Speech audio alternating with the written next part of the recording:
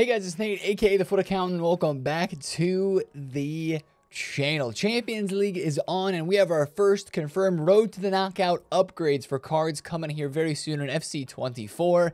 And these cards are moving on the market. We have to talk a lot about Road to the Knockouts today and more Centurions cards have been leaked, and it really makes me think that EA is going to move in a certain direction with this upcoming promo. We're going to talk about all that and more in today's video. If you're excited for it, drop a thumbs up and subscribe if you are new. First of all, let's go over yesterday's content. It was a quiet day, let's be honest, and we're not surprised by that. We saw the post that EA made about what content was going to be this upcoming week. We didn't expect anything massive, and we definitely did not get anything massive. First of all, yesterday we had a player of the month. This was coming. We knew this.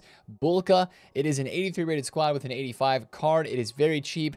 I don't think too many people are going to go after this SBC unless you're running a League One side, and then it could be an okay card for you, or if you just have 83s in the club, which I think a lot of us maybe don't have as many anymore since they've been dropping a lot of those cheaper SBCs like the Team League player pick. I know my club is lacking more 83s and 84s than it was before, and actually those prices are going a bit up on the market because of more SBCs that require those players. The big SB, SBC yesterday was the 84 plus double, and I say it's the big SBC. It actually caused the biggest market impact, which wasn't that much. Only 13% upvoted. In reality, guys, this is a gamble pack that is very expensive. I did them both yesterday. In both packs, I got an 85 rated and an 84 rated, but it is a pack that if you have some coins and if you want to send it you can because it gives you the best chance at packing a Trailblazers Team 2 player. Like, I wanted to try and see if I could pack Kane. I wanted to send it to see if I could pack any of these cards. The Guys, these cards almost seem virtually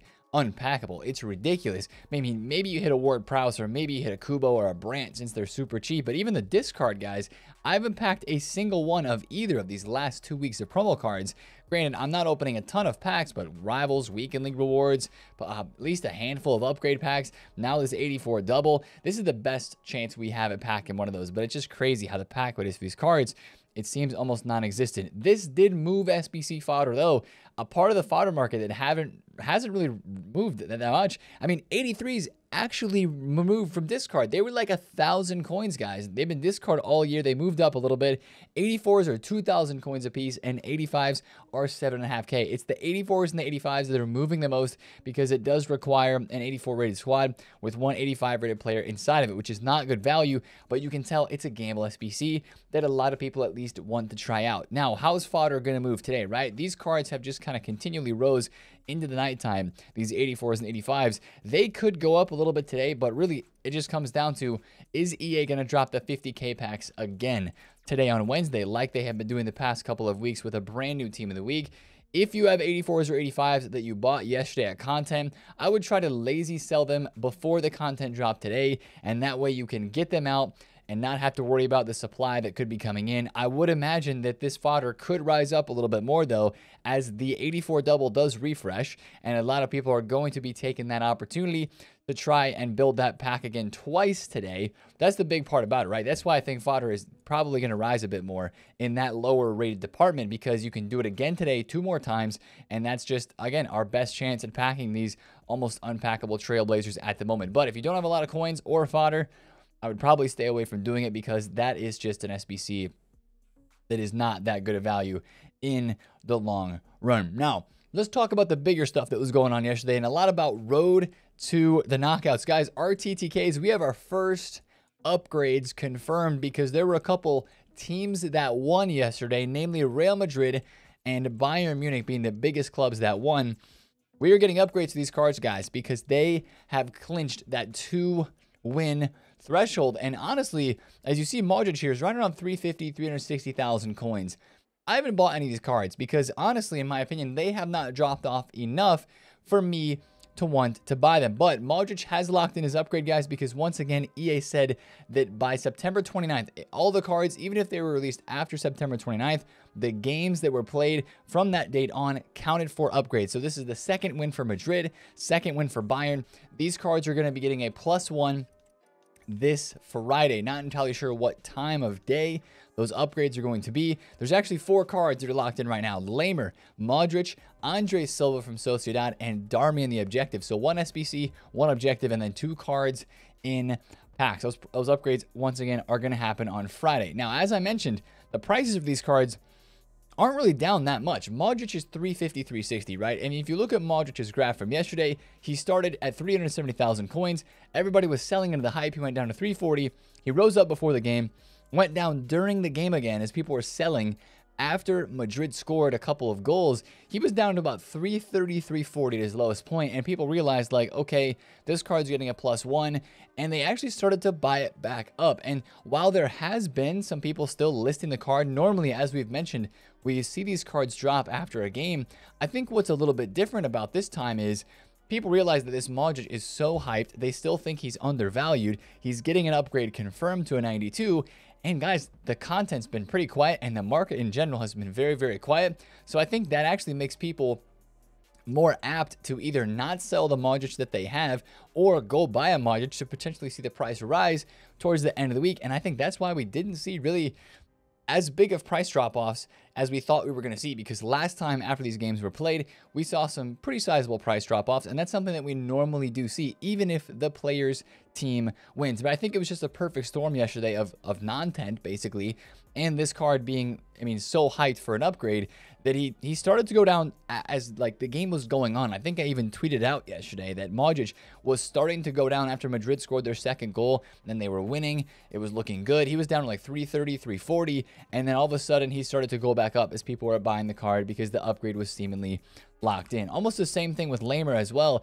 He dropped a little bit after the game, but really the, the drops yesterday were a lot smaller than we thought they were going to be, right? He went from 260 down to 240, went back up before the game, and then, of course, after the game was down at around 240,000 coins, and right now, he's starting to go back up a little bit. So here's what I'm thinking on Laimer and Modric.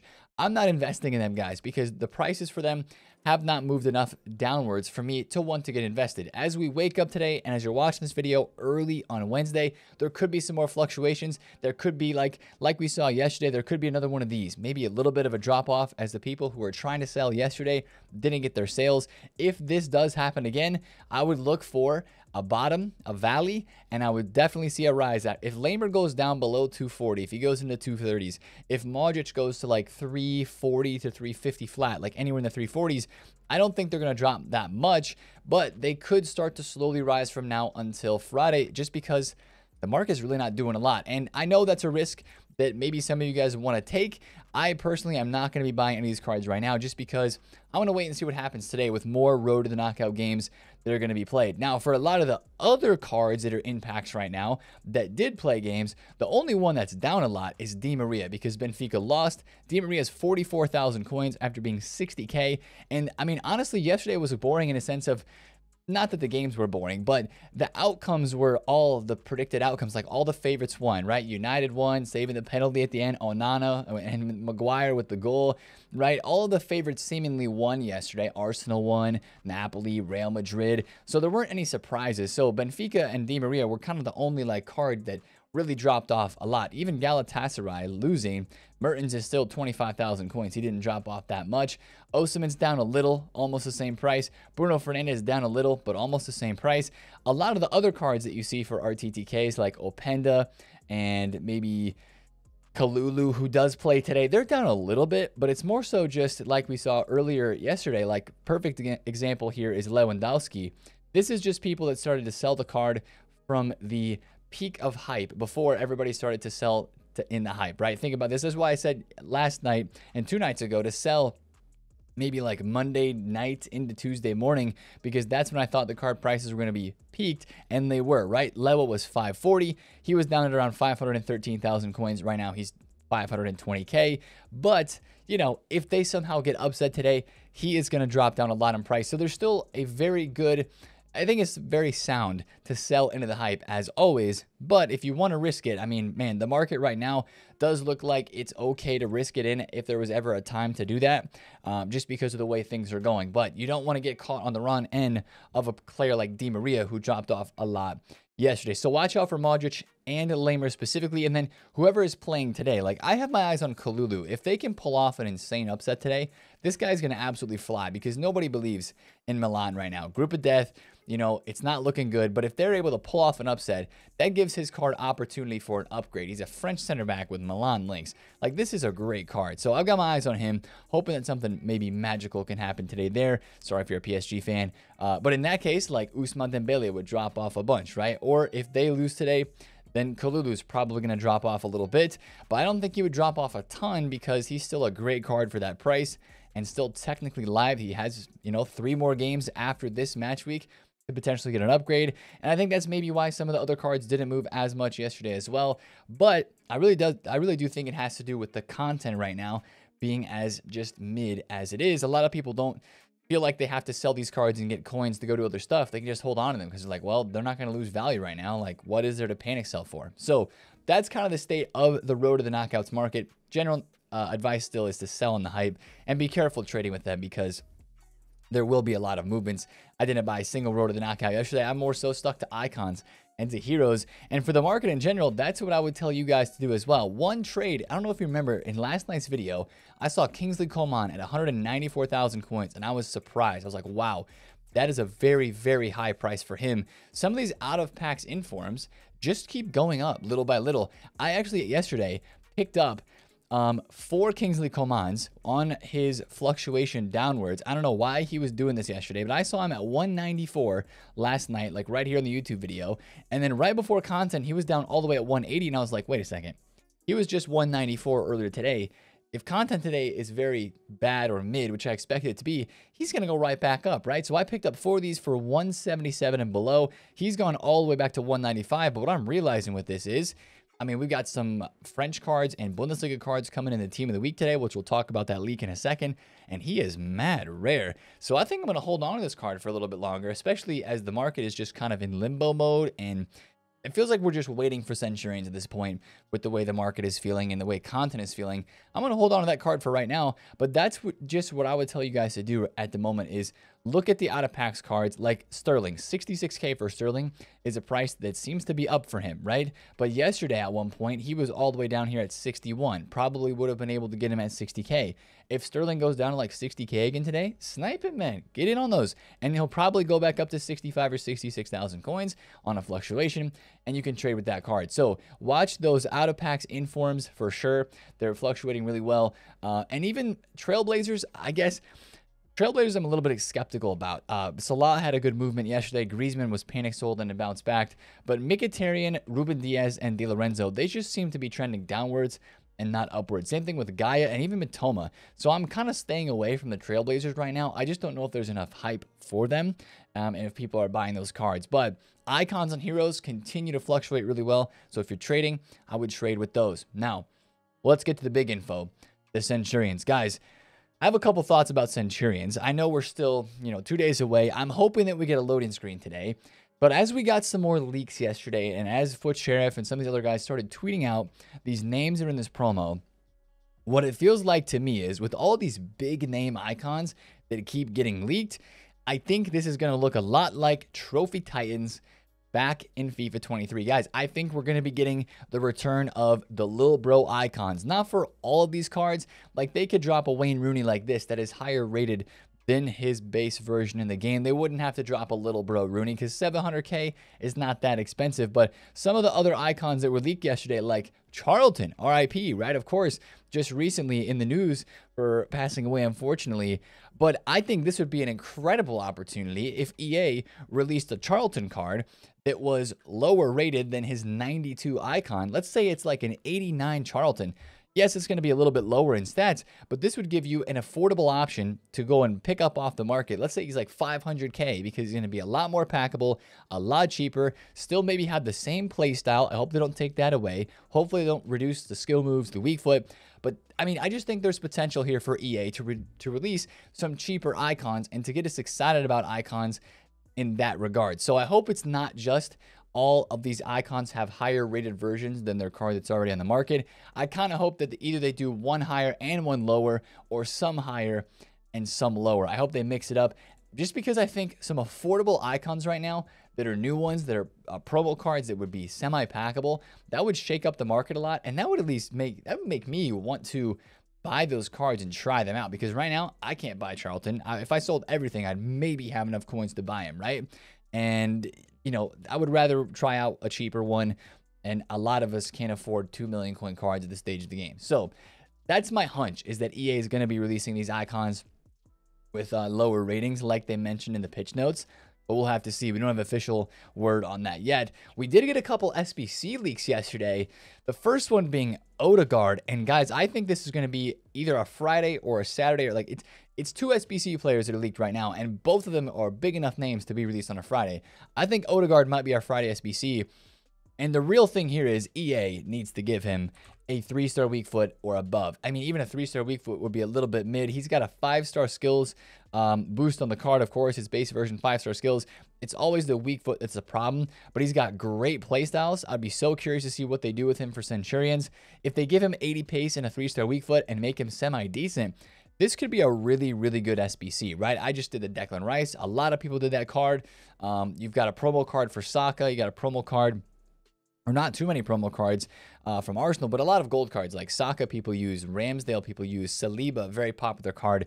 A lot of Prem teams as well. Links to Haaland, links to uh, Riise, right? Links to um, Ole. So there's a lot of good links. I would really watch this Riise card if he, uh, if the SBC for Odegaard is good value. It's kind of investing very, very early. I wouldn't say I would invest in Riise right now. I would just keep it on his price. He is up a little bit. He was 130K. This SBC league came out. He jumped to 140. Right now, he's still 138 to 140. So just be careful and watch that. But that's a big name SBC, and that has potential in my opinion. Now, a couple more Centurions links we have or leaks. We have Tomori, one of my favorite cards to trade with each and every day. That's going to be a really, really nuts card as well up to Tomori. And this is maybe one reason to stay away from Kalulu a little bit, but that's going to be an absolutely mental promo card. Think about it. Ferland Mendy, Tomori, Rashford. And then, of course, we did have another big name center back leaked, Thiago Silva. So another Prem center back is going to be coming into the fold. Um, hopefully they give him 73 pace or more. That would be great. Um, he's probably going to be pretty decent in the game. He's got the Anticipate Playstyle Plus on his base gold card. Hopefully they keep that for the Centurions. That's a card you get excited about, in my opinion. He always plays pretty well. Ashley Cole's getting a Centurions icon. That would be one that wouldn't have to get a little bro version, right? Because that would just be so packable because his card is already one of the cheaper icons that was going to be in this promo, it seems. So make the Ashley Cole higher rated like that prediction. Eusebio is in this team as well. Great one that they could release a, a mini version for. And then also, I do believe that Romania, FIFA Trading Romania, tweeted out a big SBC leak for Mudryk. So it's Mudryk and it's Odegaard right now as the SBC leaks. And I mean, this could be really good, right? I don't know what this is for. We were having some fun joking about it on the stream yesterday because the whole Centurions promo vibe, right, is about 100 something, right? 100 games, 100 uh, goals or assists. And we're like, wait, has Mudryk played 100 games? Definitely not for Chelsea. Some people were joking that it's 100 million how much they paid for him. So that's why he's getting a Centurions card. Sorry, Chelsea fans, I had to. It was too funny. But you know, I don't know what the criteria is for Centurions this year, if EA is changing it up, if they're doing anything different. But uh, he is a leaked card that is coming in the Centurions promo as an SBC. So that's one to watch out for again with some of those links as well in the Premier League. And then let's go. Let's let's turn it to today with leaks since we're on this topic. This is the team of the week six. All right. Uh, Griezmann, Goretzka, Frimpong, Openda, Bundesliga heavy. Politano was in there as well. It looks like another mid team of the week besides Griezmann and Frimpong. Like there's some nice cards in here, but like just another okay team of the week. Let's be completely honest. Maybe a little bit better than last week because you got some middle level usable cards in there. Uh, but no Salah, no Oshoala, or um, I think Guijarro. A lot of people were hoping that she would get an in for him, and nothing for either of those players. So it looks like an okay team of the week today but not anything super great. And I just wonder if that's going to set the tone for content today as well, right? Remember the post that EA made about the content that we're expecting this week. We have a couple outstanding SBCs. Stoichkov, um, getting the pronunciation there right. Stoichkov, right? The CH, got to pronounce that. I learned that yesterday. Stoichkov, right? Still looking out for his icon player SBC. It's between Stoichkov today and tomorrow also with Foyth. So we're either going to get Foyth today or tomorrow or Stoichkov today or tomorrow, I believe, because Foyth is leaked as the final last and final Trailblazers player SBC, which this one could have some potential as well. He can play center back, right back, and CDM. Just depends on the boost they give the card and the playstyle because he already has some really good defending playstyles. So that would be a card you could keep an eye on as well for a potential uh, piece of content today. And one thing we didn't see as a part of this was evolutions, okay? We didn't see evolutions as part of this.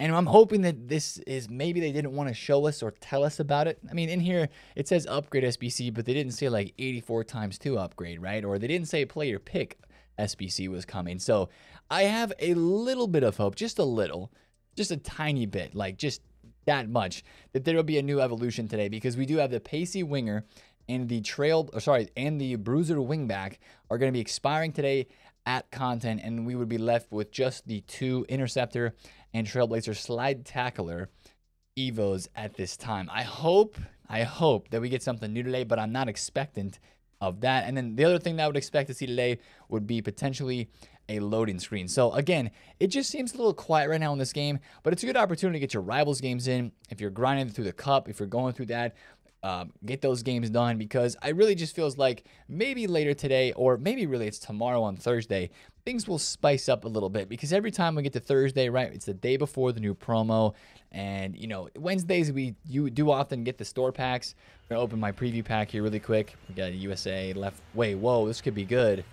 Okay I don't think that's good but um, Wednesdays besides the packs in the store usually are a little bit mid. So we'll see if ea spice it up at all today but i'm not expecting much if you see cards that drop a lot before content like icons like the the Coman, those rare out of pack specials that i saw yesterday i actually just picked up right now on a fluctuation trade a cancelo Cancelo in form was like 185 for like most of the day yesterday, and I just logged on to Flippin and I saw him. He was 178 bro 170 dude he was 187 yesterday like this is a rare out of packs card. We have a Pedri that is coming in this team as well. I will buy that all day long.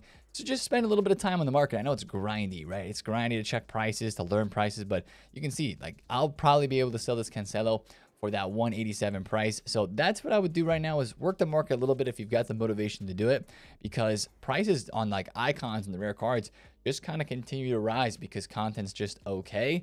But you can trade with that and you can make some coins off of that. But maybe things will be shaken up a little bit today. We'll find out, of course, live on the Twitch stream. If you're not watching daily in there, make sure you drop a follow on that link. We're live just about every single day, six days a week for the content drop, watching the new content that comes out, reacting to it, looking at what we get, and playing games and working the market, of course, live on stream. So if you enjoyed the video today, drop a thumbs up on it, comment down below if you have any questions, and of course, subscribe if you're new. I'll see you guys in stream today and for a video tomorrow. As always, it's been Nate FUT Accountant. See you guys there. Peace.